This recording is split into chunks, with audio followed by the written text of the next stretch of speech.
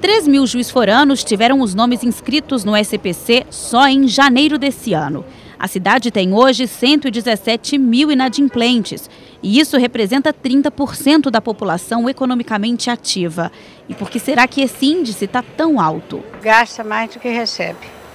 Esse é o grande problema. Esse é o grande problema. Ah, eu acho que é devido à situação do país mesmo, né? Tem muita gente desempregada, muita gente precisando mais urgente mesmo. E o cartão de crédito? É difícil viver sem ele. Só que esse aliado no dia a dia do consumidor, se não for usado com critério e responsabilidade, pode se transformar no grande vilão do endividamento. As pessoas, eu acho que hoje em dia elas é, utilizam de maneira errada os cartões de crédito, até crediário de loja, elas vão fazendo as compras e muitas vezes vão pagando o mínimo do, do cartão e, vão, e vai criando aquela bola de neve e as pessoas não conseguem quitar as suas dívidas. E com isso chegam a pedir empréstimo no banco para ver se conseguem pagar as dívidas e aí cria uma outra dívida que é com a instituição bancária. Para falar sobre educação financeira, a Câmara Municipal de Juiz de Fora promoveu um curso essa semana. A Luciana dos Santos deu dicas importantes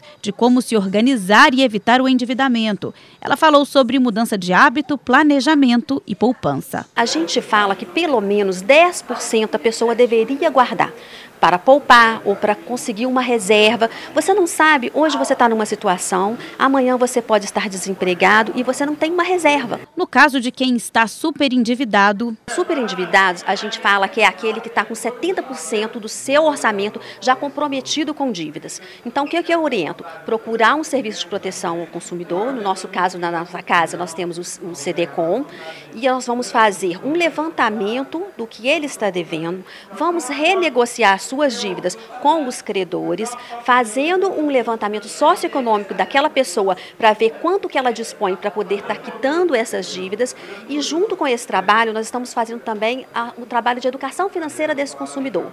Então, o mais importante é procurar ajuda. Rodolfo participou da palestra e anotou todas as dicas para não correr o risco de esquecer. Educação financeira passa a ser algo muito importante para o nosso, nosso dia a dia, né?